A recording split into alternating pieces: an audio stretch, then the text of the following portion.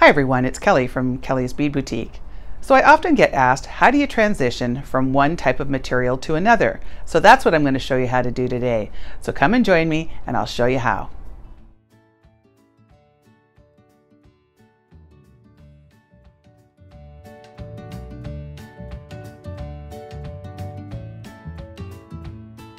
So for tools today, we're going to be using our chain nose pliers and our bent chain nose pliers.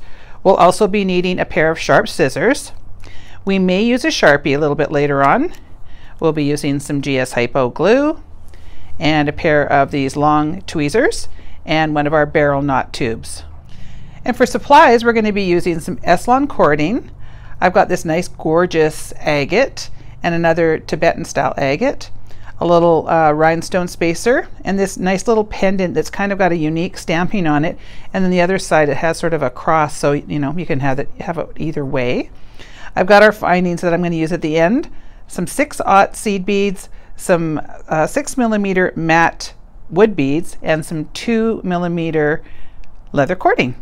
Okay so the first thing I'm going to do is take two ends of my cording and I've taken my two meter piece and I have cut it in half so I've got two one meter pieces of S-Lon cording. So I'm going to find the middle just run those down and then I just pull it down like that. So now I'm going to make a knot in it and I'm going to do my pearl knotting technique where I go around my finger and pull that through and I'm creating a knot on my finger. Now I'm going to take my tweezers and put them right on top of there. So that's where I'm going to be dropping my knot. So I'm going to pull nice and snug. Now if you can see there's a couple pieces that are not cooperating, they haven't gone all the way through, so I just take each piece and pull it nice and snug, making sure that that knot, there we go, that just makes it nice and tight. And then I'm going to pull that out and run my tweezers down. Okay, so now we have our first knot on there. Now I'm going to place my little agate piece on there. Now when you're putting four pieces of S-Lon through any stone, you may have some problems. So the way that beads are drilled out is you'll find that one side is always a little bit easier to get through than the other side. So if you're trying to get these through and you're really struggling, turn your bead over. You'll find that it might be a bit easier. Next comes our little uh, rhinestone spacer. And then finally our big juicy agate nugget here. Okay. So there we go. Just make sure that's pulled down there nice and snug. And now I'm going to create another knot. So again, I'm going to go around my fingers, drop that off to the side, pull that through. So I'm creating a knot on my fingers. I take my tweezers. Now, don't use tweezers like I have. We do sell these for about $3.99, I believe. This is a pair that was sitting around the back that I grabbed that have a bent end. They don't work so well, so I'm kind of, uh, you know, having a bit of a trouble with them while I'm doing this. Uh, but uh, the ones you would get would, of course, not have that. They've been used for a million things that they shouldn't be, and that's what happened to them. Okay, so I come through my knot, place the tweezers right where I want them, grab those ends, pull up, and make sure that they all come up at the same time. And if you have any that aren't, you can just kind of pull them singularly and ha have that nice and tight. Now I'm going to remove the ends and then run my down there, make that nice and snug. So now you can see that's all knotted in there nicely. So now what I have to do is I have to split these into two groups. So what I try to do is find the natural placement of them. Like those two look like they should be on the right hand side and those two should look like they go over on the left hand side. It's not imperative, but I just find that it's one more thing that helps everything go the right way directionally. So on one side, I am going to place six of my 6-aught seed beads, and on the other, I'm going to place six of the 6-aught seed beads. So let me just get these on here, and then I'll be right back. All right, so I have six of my 6-aught seed beads on each side. So now I'm going to bring all four pieces together, and I'm going to put the final seed bead on top there and I'm going to run all of those through that one. And that's just going to help kind of anchor that all in there. And I'm just going to pull that down. And now we've created the beginning of our little necklace. So now what I have to do is tie another knot. So I'm going to go around my fingers make a little knot take my tweezers go through that knot and go right above. You can see I'm pushing down that size 6 seed bead there because I want to have that nice and snug. So I push down first and then I'm going to drop that off. You want to make sure that it's always staying on your pair of tweezers. If it falls off, then you're not going to have a knot. So I just pull up, making sure that these are all nice and snug.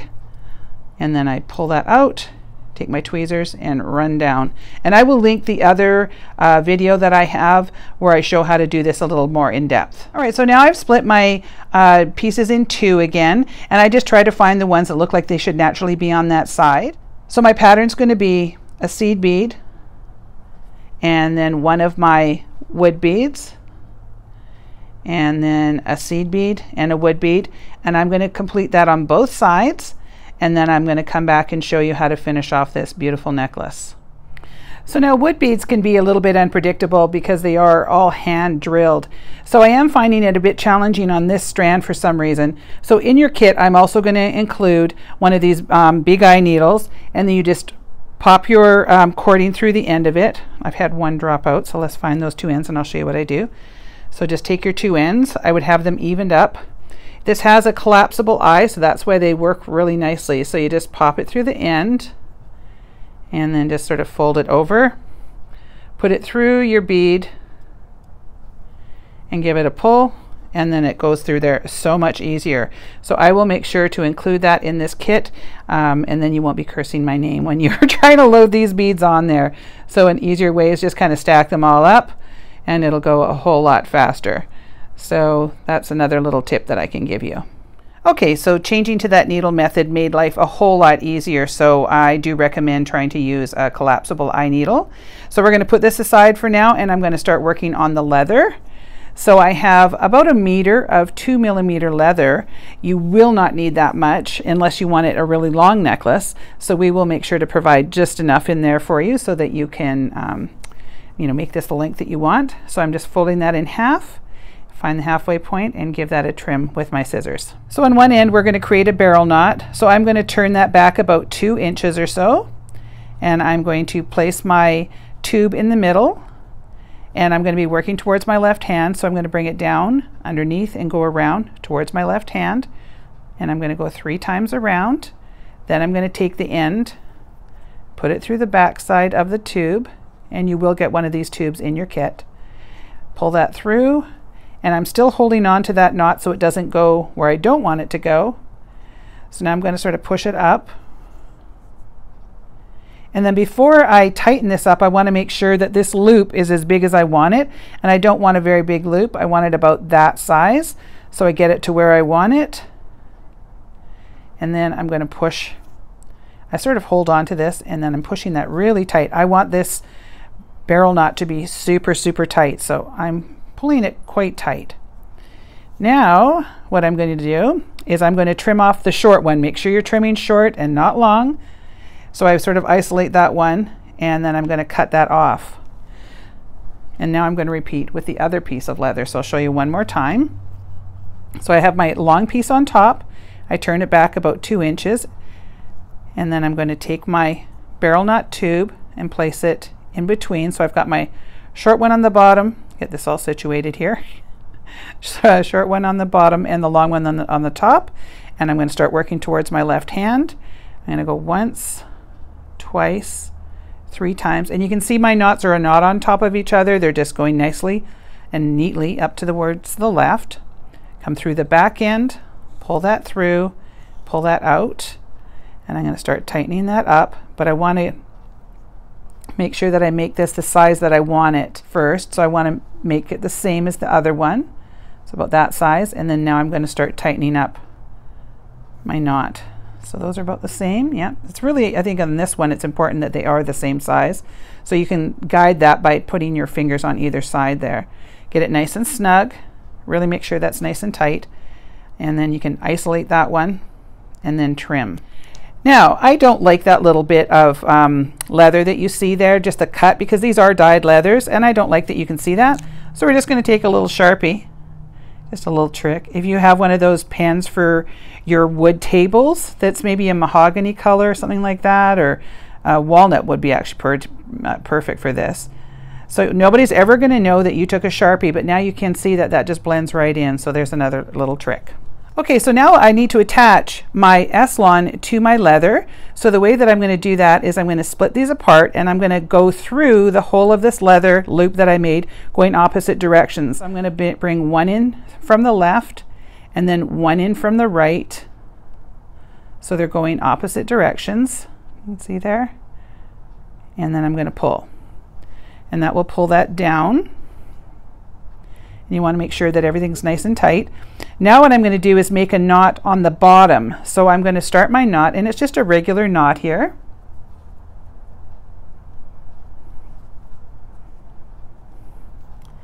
And I'm going to tie it so that it goes underneath the leather. So it's a little bit probably hard to see there I would think, but I'm creating it underneath the leather. So I'm just going to do that and I'm going to tie another one in the same spot.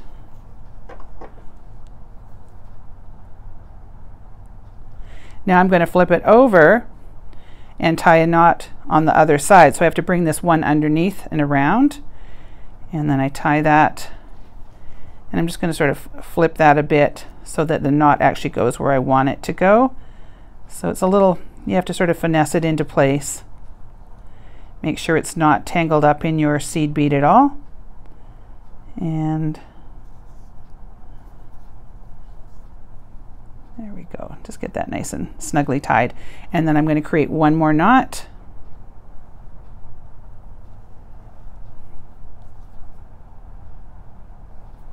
And this is just to secure that onto that leather.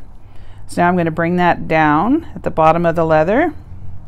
Probably easier if you do it beforehand, but you know it's hard to uh, videotape and remember all these things and at the same time. Okay, so now I'm going to trim this off and I'm going to just trim it down to about an eighth of an inch on either side. So now there's a couple ways that you can finish that off. You can take your thread zapper if you happen to have one of those, get it nice and hot, wait until it's firing red up there, and now you can come in on the end and just melt that down and then push that in. That'll be perfect. So you can do that, or you can take a little bit of GS Hypo glue. I'll show you what you can so if you don't have one of those, you can do glue. So we'll just take a little dab of glue and just place it right over top of where you cut that off. So either one will work. I probably prefer the thread zapper, but if you don't have one, glue works fine. Just kind of go in on both sides and give that a little bit of um, you know, support there. So I'm just going to repeat that on the other side. So I'm just going to come in on either side, going opposite directions.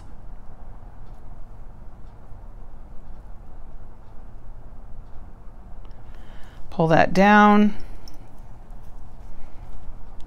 Now this time I'm going to make sure it's at the bottom to make my life a little bit easier. There we go. So I want to have it sort of centered like that. And now I'm going to tie some knots.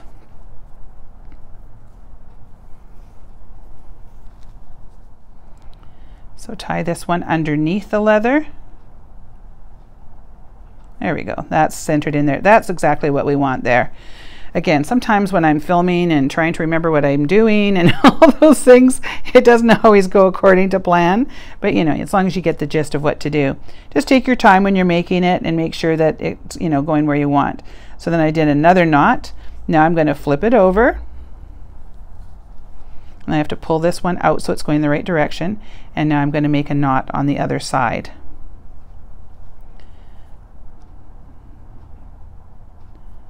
So just I just make sure that it's where I want it before I pull tight because once you've pulled on a knot, it's hard to do, you know, to pull it back. So there we go. That one worked out perfect. A little better than the other side, but it still ended up looking the same. It just, you know, was a little futzier to get in there.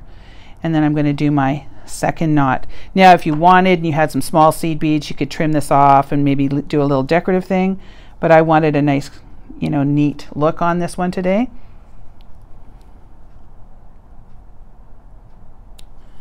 So trim those down and then I'm going to use the thread zapper. So you want to make sure if you use the thread zapper that you are isolating that so that it doesn't go where you don't want. So you just kind of push it down and then it disappears. That's what I like about this. If you are brave, you could use a lighter, but uh, I'm not, so I won't. and this one's sort of sticking out a little too close to my original work, so I want to make sure it's not going to, um, I'm not going to be zapping it in the wrong place. So by using this, it burns it down and it sort of mushrooms it out so it's not going to fall out there. All right, so that's what you want. It's kind of a nice little, just a little knotted look. Okay, so now we've got our little uh, transitions from our S-Lon to our cording done. So I want to sort of match these up and then I'm going to run them down and I'm going to trim them off because now you can see with my barrel knots they didn't exactly end up the same. This is also the point that you want to measure and decide what length you want. I am going to trim off just a little bit of this because I'm thinking that it's a bit too long. Um, but again, that's going to be a personal preference for everybody. So it's your piece, you decide how long you want it. So I have these really great um, crimpable end caps that I'm going to use. So what you want to do is you want to find the natural flow of the leather. So you see how it's wanting to go this way? I'm not going to fight it. I'm going to go with that. And then I'm going to place my little crimpable end cap on and I want to make sure that it's lined up so that it's the loop is going this way so I guess horizontally so you can see the leather there so what I do is I take my pliers place it in the middle section pull back and then I give it a crimp. I don't want to see the leather poking out, but I don't want it to be too far down that it doesn't catch. So I give it a crimp down there, and then I turn it over and I give it another crimp. And you can go back and forth, you know, maybe once or twice. You don't want to do it too much because it is soft, it could break through. Um, you never want to crimp on top of these pieces, just the one in the midsection that doesn't have the little stars on them. So again, I find the natural flow of the leather, place my ends on, line it up horizontally, Make sure I can just barely see that leather poking through there. Pull back a bit and then give it a, a little smush. Smush is a technical term, you know. So now we're just going to add our jump rings on the end and then we're almost done. So I'm going to use my pliers, open up my jump ring, coming on the end there, and I'm going to add my lobster clasp. And you can add whatever you like on a necklace like this. I just wanted to keep it simple, so we're using a lobster clasp. And then on this end, I'm going to do a jump ring. And then I'm going to use a closed ring. I always like a closed ring when I'm using a, a lobster clasp like that. It makes it easier to do up. So there you go. There's our completed piece. I hope you enjoyed watching how I went from one kind of jewelry material to another. I often like to use different materials in my necklaces and my jewelry pieces. I think it makes for a more interesting piece. If you enjoyed this video, please make sure to give it a thumbs up. Make sure to leave me a comment and please subscribe to my channel. Uh, this one will be available in a kit on my website. You just go down to the description box below this video and you click on the link and it takes you directly to my site. I want to thank you so much for watching and we'll see you on the next one. Um, who am I? Am, where am I from? What am I doing? Why am I here? 25 after 6, I should be asleep, but I'm never sleeping, so I'll just film all the time. Ah. From Kellie's Berry. My name is Fred Flintstone, and I work in a rock quarry. No. no, I haven't been drinking. Good enough!